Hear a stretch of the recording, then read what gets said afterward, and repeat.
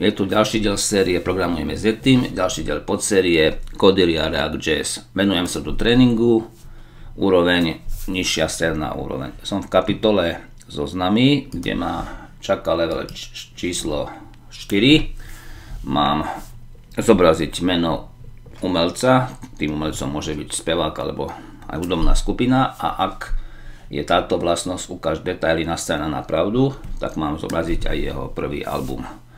Vytváram triedu hudobných umelcov, ktorá rozširuje reaktorský komponent. Každý, každá táto trieda musí obsahovať metódu render, ktorá na ten komponent vráti.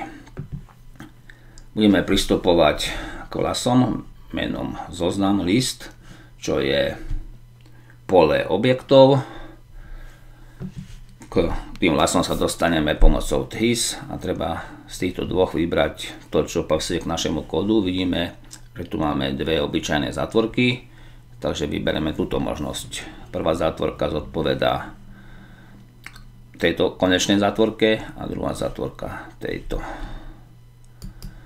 Potom tu máme kľúč, kľúčom je meno umelca, meno skupiny.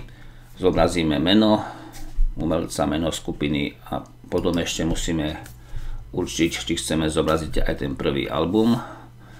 No a na to využijeme už spomenutú vlastnosť ukáž detail. Ak tento detail bude nastavený na pravdu, tak potom sa zobrazí tá druhá možnosť. Tak funguje to end. Môžeme to otestovať. Neočakávam nič iné ako konfety.